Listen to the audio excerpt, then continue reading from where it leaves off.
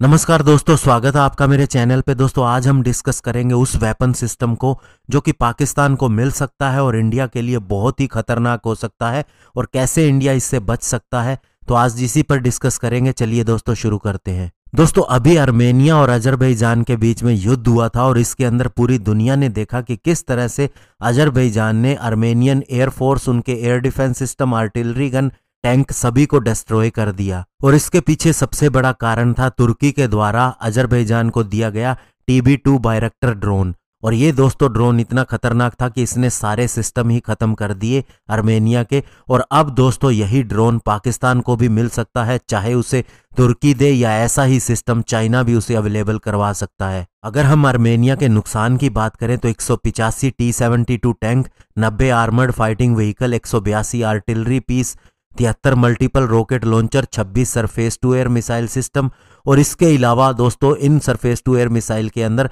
S 300 system भी शामिल था। 14 रडार और जैमर और इसके अलावा एक सुखोई 25 वार प्लेन भी डिस्ट्रॉय हो गया। और ये सारी बातें एनालिस्ट स्टीजन मिजर ने मिलिट्री अफेयर के अंदर लिखी है। और दूसरी तरफ़ अगर अजरबईजान के नुकसान की बात करें तो वो इसका वन सिक्स ही था। तो दोस्तों, ये सारा काम किया तुर्की के बायरेक्टर टीबी टू ड्रोन में। अगर इस ड्रोन की बात करें तो ये दोस्तों, वन एट थी है वेट में यूएस के एम क्यू नाइन रीपर की तुलना में और 80 मील पर आवर की स्पीड पे जाता है। इसके अलावा दोस्तों, इसके अंदर तुर्की का ही एक लेजर गाइडेड मिसाइल लगा है, जिसे एम एम यानी कि तुर्किश स्मार्ट माइक्रो म्यूनिशन भी कहते हैं। और ये एक medium altitude, long endurance drone है और tactical unmanned aerial vehicle capable है ये हर तरह की इंटेलिजेंस करने सर्विलियंस रिकनिशन इसके अलावा आर्म्ड अटैक मिशन के लिए भी। और इसके अलावा दोस्तों, जब ऑपरेशन स्प्रिंगशील्ड हुआ था सीरिया के अंदर, उस समय भी इस ड्रोन को डिप्लॉय किया गया था और इसने दोस्तों रशिया के पंचसीर मिसाइल डिफेंस सिस्टम के खिलाफ बहुत ही अच्छी मिनोवरेबिलिटी का प्रदर्शन करते हुए उसे डिस्ट्रॉय कर दिया और एक वीडियो देखा गया, जिसके अंदर ये डायरेक्टली जाके पंचसीर मिसाइल सिस्टम को डिस्ट्रॉय कर देता है। और ये भी कहा गया कि उस समय पंचसीर मिसाइल सिस्टम एक्टिव भी था, यानी कि वो इसे डिटेक्ट नहीं कर पाया। चूँकि दोस्तों, तुर्की नेटो मेंबर है तो इसे दोस्तों, यूएस, जर्मनी, इसराइल और कनाडा से बहुत अच्छे ड्रोन सिस्टम मिलते रहे हैं।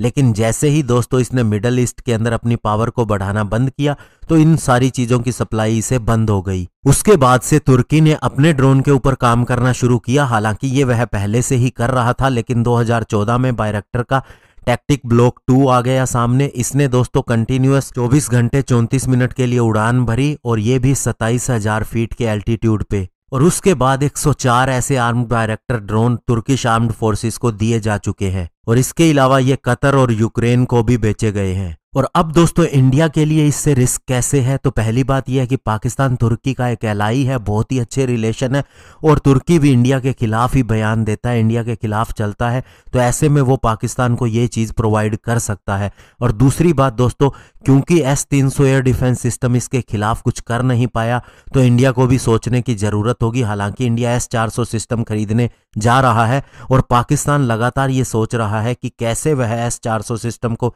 टक्कर दे, क्योंकि हमेशा ही वो इंडिया के साथ बैलेंस रखने की कोशिश करता है। तो ऐसे में ये पक्का ही हो जाएगा कि पाकिस्तान इस ड्रोन को खरीदेगा ही खरीदेगा।